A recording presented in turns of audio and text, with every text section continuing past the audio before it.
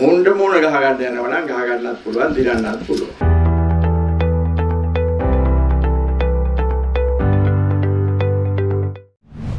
අරගලය හා භීෂණයට මුහුණදීම පිළිබඳව චමල් රාජපක්ෂ මහතා ආකුරැස්ස ප්‍රදේශයේ පැවති පාක්ෂික හමුවකදී පළ කළේ මෙවන් අදහසක්. අපි පහුගිය කාලේ පොඩක් මුණ්ඩ මුණ ගහගන්න යනවා නම් ගහගන්නත් පුළුවන් දිරන්නත් පුළුවන්. නමුත් අපිට යට ගිහිල්ලා සංවිධානය වෙලා ආපහු වෙන්න පුළුවන්කම තියෙනවා. දැන් මෙන්න සංවිධානය වෙන කාලේ. ඊවල් ගිනි තියලා පුච්චලා ගහලා කුණු කරනවා. ඒක තමයි අරගේ පුරුද්ද.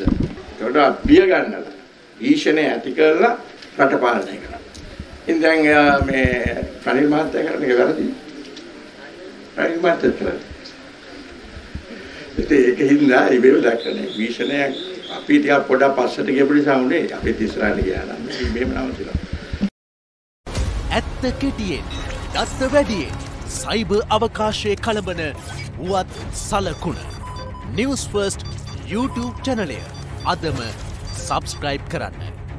නිවස් ෆර්ස්ට් ජනතාව සමඟ